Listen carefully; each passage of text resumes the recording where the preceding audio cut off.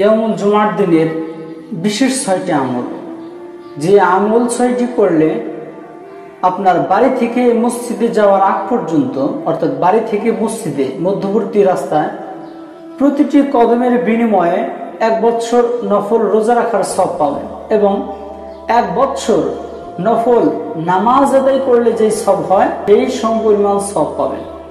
অর্থাৎ এক বছর নফল নামাজ আদায়ের সব পেয়ে যাবেন।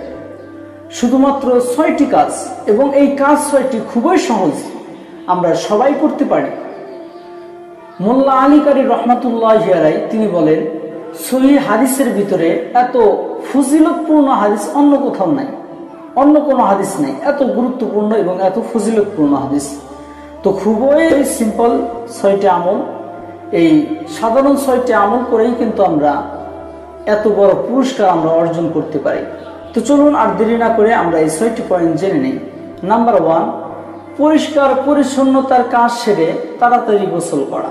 নাম্বার টু তাড়াতাড়ি মসজিদে যাওয়া। নাম্বার থ্রি পায়ে হেঁটে মসজিদে যাওয়া। নাম্বার ফোর ইমামের কাছাকাছি বসার চেষ্টা করা। নাম্বার ফাইভ অহেতুক কাজকর্ম এবং কথাবার্তা থেকে বিরত থাকা। নাম্বার সিক্স আত্মাহিয়াতুর শুরুতে বসে মনোযোগ সহকারে ক্ষুদ্বা শ্রবণ করা। সাধারণ এই ছয়টি আমল আমরা প্রত্যেককেই করতে পারি। আর এই ছোট্ট ছয়টি আমল করে কিন্তু আমরা প্রতিটি কদমে এক বছর রোজা এবং এক বছর নফল নামাজ আদায়ের সব কিন্তু আমরা পেতে পারি। এই আমলটা আমরা সবাই করব ইনশাল্লাহ